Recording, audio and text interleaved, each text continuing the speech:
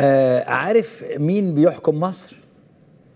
كان آه الكاتب الكبير إحسان عبد القدوس كان كتب إن اللي بيحكم مصر عصابة ودي خلت روزا اليوسف كلها تتأمم اللي هي عملتها امه آه الست والدته. لأن الست روزا اليوسف بعد ما سابت التمثيل وبناء على نصيحة من زوجها الأستاذ زكي طليمات أنشأت دار روزا اليوسف. وظلت هذه الدار مستمره لحد ما جم العسكر فكتب ابنها عن العصابة التي تحكم مصر وكانت دي آه القشة التي قسمت ظهر البعير وتم تأميم آه روزا اليوسف بعد ما كان الأستاذ إحسان عبد القدوس رحمة الله عليه اقترض فوق ال ألف عشان يطور الدار. العصابة قالت له لا سوري بقى انت بتهزر واتسجن فيها على فكرة. عارف مين اللي بيحكم مصر؟ هتقول لي السيسي وعصابته. صح؟ وأنا كملت معاك في ده. لكن أنا ما أقصدش ده على فكرة. افهمني الحكم مش مجرد هو القهر والاعتقال وفرض الضرائب والقروض وتنفيذ الإزالات. إنما أنا قصدي في الفقرة دي الحكم بمعنى الاهتمام بمشاكل الناس وحلها. أقصد بالمعنى ده الناس الناس اللي بتحكم بتهتم بمصر. هعيد عليك بقى السؤال. مين اللي بيحكم مصر؟ السيسي ولا السوشيال ميديا؟ أنا بقول لك اللي بيحكم مصر السوشيال ميديا. وهديك مجموعة أمثلة. لفت نظرنا من خلال المتابعة اليومية للأخبار إن التأثير على الواقع وحياة الناس ومشاكلهم الحقيقية بيبدأ في كتير جدا من الأحيان من السوشيال ميديا. يعني السوشيال الأول تتكلم وتضغط وتقول وتنشر. بعدها الدولة إما تنفي أو تتحرك. وده الأصل. وكأن الدولة ما ينفعش تتحرك من نفسها. كأن الدولة الحقيقة يعني ما تعرفش تحل مشاكل الناس. خلونا نبدأ بالخبر ده من البي بي سي. مصر في 2019 كيف تمكنت مواقع التواصل الاجتماعي من إحداث تأثير على أرض الواقع؟ ده الحقيقة اللي نشرته البي بي سي. طيب نديك مثال ناخد مثال. اديني أول مثال كده الحقيقة يعني. التطبيع خيانة أحضان الحقيقة أحضان آه مواقع التواصل الاجتماعي أحضان محمد رمضان الإسرائيليين تشعل غضب المصريين. أول مثال إن الدولة اتحركت كان واضح جدا في موضوع قضية تطبيع محمد رمضان مع الكيان الصهيوني. ودور المواقع التواصل الاجتماعي في توجيه ضربة لمحاولة تطبيع وكان ده هيعدي عادي لو إن الناس الحقيقة ما آه ضغطتش في هذا الاتجاه. أهو رسميا وقف محمد رمضان على العمل بسبب تهمة التطبيع مع إسرائيل. الخبر الثاني الحقيقة آه أديك نموذج تاني مثال اتنين زي وقعة مثلا جريمة فندق الفيرمونت اللي كانت في 2014 واللي انتشرت على السوشيال ميديا وبعد كده الدولة كلها اتحركت بضغط من السوشيال ميديا. جريمة الفيرمونت السوشيال ميديا تكشف تفاصيل واقعة اغتصاب ثمان شباب لفتاة منذ ست سنوات. في كان في خبر تاني في 30 يوليو مصر تهديدات بالقتل لمحركي حسابات انستجرام آثار شبهات بعملية اغتصاب حصلت في 2014 في 6 أغسطس النيابة المصرية تبحث حقيقة الاغتصاب. أديك مثال ثالث السوشيال لعب دور مهم جدا في كشف فساد واحد من أبناء الطبقة الحاكمة وتسترها على بعض في واقعة ابن المستشار ابن مين في مصر؟ طفل المرور يشعل غضب السوشيال ميديا. طيب الولد ده الحقيقة يعني آه آه اكتشفوا بعد كده في ظل إن الولد مش أول مرة يعملها بس كان على يعني داخل عيون الحكومة ومحدش يقدر يتحرك لكن كان بيفلت بعمليته كل مرة عشان منصب أبوه. لكن المواقع السوشيال لما فضحت القصة دي أجبرت الدولة إنها تحاول تلم الموضوع وتاخد الموقف ده. بدء التحقيق مع الطفل المرور واصدقائه الثلاثة بسبب الفيديو. يعني أديك واحد ثالث جريمة يعني مشاعر أو جريمة حركت مشاعر ناس جريمة ارتكبها النظام بسبب تدخل السوشيال ميديا وعدم سيطرته على مواقع الغضب. خلاه يتحرك. عيسى الراوي بتاع الأقصر. الصعيدي عويس الراوي قصدي. الصعيدي اللي اتقتل في الأقصر على يد ضابط شرطة الذي أشعل قتله شبكات التواصل الاجتماعي في مصر. التو... لما حصل زحمة عليه حصل على طول النيابة تباشر التحقيقات في واقعة وفاة عويس الراوي بالأقصر. لكن مواقف تانية كتير يعني الحقيقة. لكن خليني بس أتوقف عند حاجة. الحكومة بتعمل إيه بقى؟ أول ما تحصل الأزمة تتدخل وتعمل نيابة وبتاع لحد ما تهدى الموضوع وبعدين يعود أبوه عند أخوه. أنت عرفت إيه اللي حصل في عويس الراوي؟ ما عرفتش. الضابط حصل معاه ولا حاجة. انت عرفت إيه اللي حصل مع الطفل المرور؟ ولا حاجة. لكن ده مش معناه إن السوشيال ميديا ملوش أهمية. زي واقعتين دلوقتي أو أنا عندي ثلاث وقائع يقول لك أهمية السوشيال ميديا إيه. أول واقعة أنا قلتها من شوية. الفنان محمد عبد الحليم. بنت طلعت نشرت صورتها مع محمد عبد الحليم زي ما شفنا كده وقالت ده عايش تحت كوبري الملك الصالح. الدنيا قامت ما عادتش على طول طلعت الأهرام والاخبار أهو. إيه على طول طلع أهو. الفنان المصري محمد يعلق على تداول صورته في أسفل الكوبري دون مأوى. وقال لا يا جماعة ده أنا كنت في زيارة لابني وكنت قاعد أنا ما عنديش مشاكل خالص وحاجات من دي.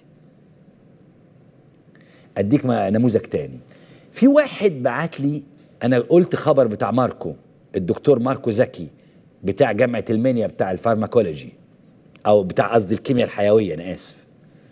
خلاص؟ في واحد باعت لي أستاذ كيمياء حيوية من بره عايش بره بيقول لي الحقيقة يعني إن ده كلام فاضي وكلام جرايد.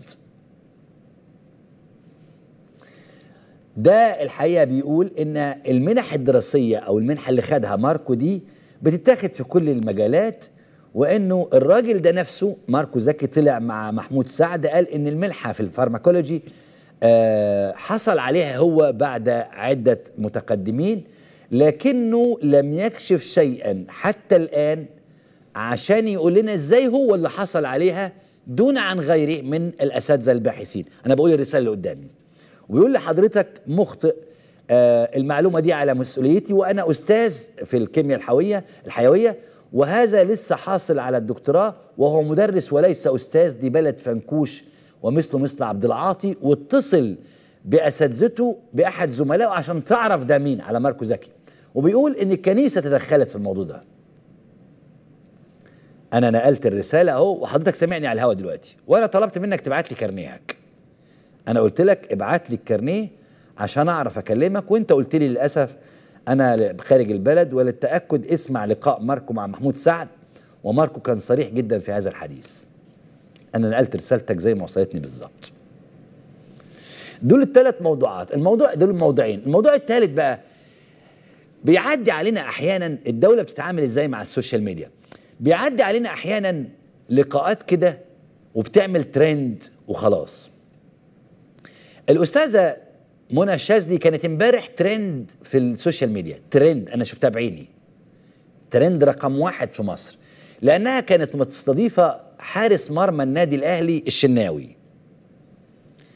أنا ما شفتش اللقاء ولا عرفت ليه منى الشاذلي ترند. بس ده الدولة بقى يركبوا الترند أو يركبوا السوشيال ميديا وبعدين يموتوها. طيب قام في حد كتب ال post ده بيعلق على الحوار ما بين منى الشاذلي وما بين الحقيقة آآ آآ حارس مرمى النادي الأهلي الشناوي؟ بيقول أو بتقول صاحبة الحساب ده إن منى الشاذلي بمنتهى قلة الأدب سألت الشناوي هو قفشة اتسمى قفشة ليه؟ قفشة لاعب النادي الأهلي. اللي جاب الجول الثاني اتسمى قفشة ليه؟ فبتقول إن الشناوي بص الناحية الثانية وما رضيش يجاوب. إحنا ما نعرفش بقى إيه المشكلة. إمبارح منى الشاذلي كانت مستضيفة الشناوي من ضمن الأسئلة الهبلة اللي بلا معنى وما أكثرها سؤال انت تعرف ليه قفشة اتسمى بالاسم ده؟ أنا استغربت السؤال لأن دي حاجة خاصة بقفشة وما ينفعش حد تاني يتسأل فيها مكانه لأنه مش معنى إنه كان شجاع وجاوب بدون خجل في أحد البرامج إننا نستحل ونستبيح الكلام في الحاجة دي فقط عشان الترند ونزود مشاهدات ونعمل زخم بالعافية للحلقة. اللطيف إن الشناوي ما وصلهاش لغرضها وبص الناحية التانية وقال لها معرفش هي طبعا غبية وما فهمتش إنه مش حابب يجاوب بالنيابة عن صاحبه. والموضوع يبقى عرضة للتنكيت والضحك بينه وبين المذيعة. رغم إنه الشيء ما يعيبوش ولأنها فعلا غبية وما بتدعيش الغباء راحت كررت السؤال تاني وقالت له أنت عارف إنه اسمه الحقيقي محمد مجدي مش قفشة؟ راح قال لها آه عارف. ففهمت أخيرا إنها قليله الذوق ودم وإنها مش هتحصل على الرد اللي منتظراه واللي كانت محضراه طبعا. هتعمل إيه بعدها؟ وإنه هيتبرق بعينها هتبرق بعينها وتقول له لا لا استنى عيد الحتة دي تاني معقول؟ يعني كان بيجري يقفش في الفراخ وبعدها تضحك بسرسعتها البغيضة وتقفل عينيها فالكحل يدخل في البودرة مع الدموع وتروح مشقلبة دماغها لورا ثانيتين وترجع لقدام وتقول فاصل قصير ونرجع تاني. اذا الناس بتتعامل مع السوشيال ميديا بجدية شديدة جدا.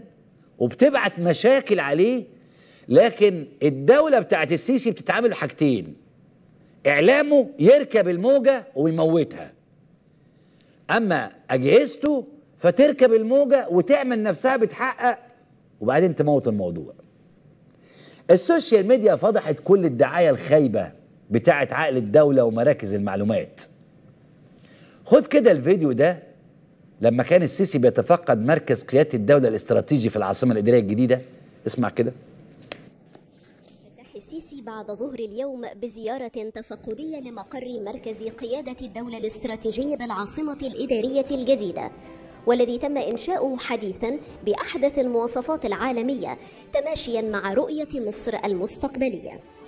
حيث رافق سيادته الدكتور مصطفى مدبولي رئيس مجلس الوزراء والفريق أول محمد زكي القائد العام للقوات المسلحة وزير الدفاع والإنتاج الحربي والفريق محمد فريد رئيس أركان حرب القوات المسلحة وعدد من قادة القوات المسلحة وصرح المتحدث الرسمي باسم رئاسة الجمهورية بأن السيد الرئيس استمع إلى شرح مفصل لمكونات مركز قيادة الدولة الاستراتيجي الجديد وآخر تطورات الأعمال الإنشائية الهندسية وأعمال البنية التحتية التي تمت به.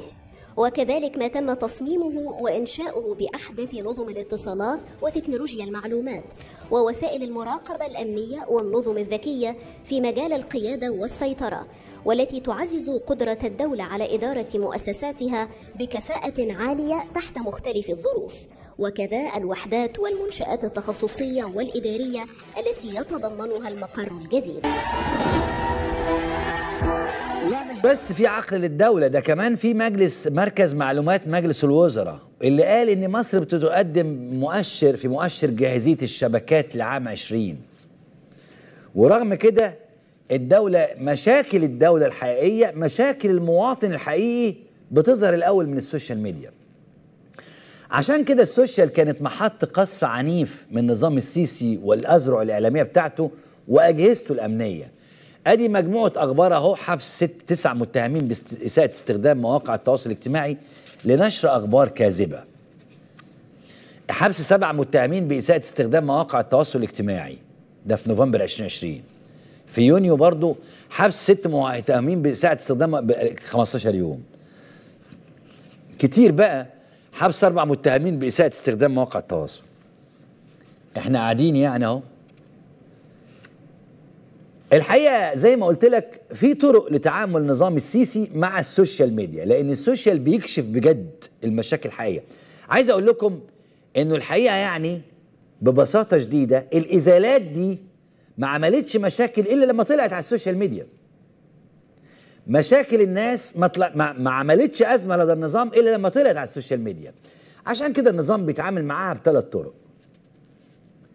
إما طريقة إن هو يحبس الناس بالطريقة دي أو إن هو مثلا يستخدمها يستخدم السوشيال نفسه في تفخيخ السوشيال. يعني يفجر قنابل دخان لإشغال الناس. ويكفي بس مثال بسيط قوي زي البنت بتاع صور الأقصر ال photo session اللي عملته قصدي في المعابد بتاعة سقارة. آه اهو صورة طالبة ترد على فتاة سقارة ب photo session في معابد الأقصر. فاكر القصة دي بتاعت امبارح؟ لما ألقوا القبض على البنت والبنت في النيابة وراحوا جابوا بقى بنت تانية مصرية محجبة وكأنه المح... الفراعنة كانوا محجبات. الحشمة لا تنقص من جمالهن شيئا. photo session بالحجاب في معبد الكرنك ردا على سلمى الشيمي. ادي خبر أهو. الحلاوة حلاوة الروح. وتعالى عندنا والحاجات دي. photo session فرعوني ردا على واتفرجنا آهو. أي كلام فارغ. أي كلام فارغ حطه في دماغ الناس. الخلاصة إن في حالة الحكم من نخبة فاسدة لا يمكن يكون أولوياتها أو اهتماماتها مشاكل الناس. في الوقت ده كان مفروض يقوم الإعلام بدوره مش يروح يدور على قفشة اسمه الأصلي ليه قفشة عشان والدته كانت بتبيع فراخ وهو كان بيقفش في الفراخ. ونقعد نضحك على كلام فارغ ما يستحقش حتى الهوى اللي بيضيع ولا هو عيب على فكرة عند قفشة لأنها وظيفة محترمة. لكن نظريات السيسي الإعلامية وفلسفة الازرع بتاعته وإعلام السامسونج أضع الأمل ده فتحولت صفحات مواقع التواصل الاجتماعي إلى فيديوهات وبوستات بتصور الحياة الصعبة اليومية ومعاناة المصريين يوميا وده بيصوروا المصريين المعاناه اللي بيشوفوها كل يوم واللي محدش يقدر يتكلم عنها في كل وسائل الإعلام بتاعتهم وعبر كل البرامج. عشان كده الحقيقة سيظل وسائل ستظل وسائل الإعلام هي المنفذ الحقيقي للمواطن المصري اللي بتحكمه عصابة ما يهمهاش غير مصالحها.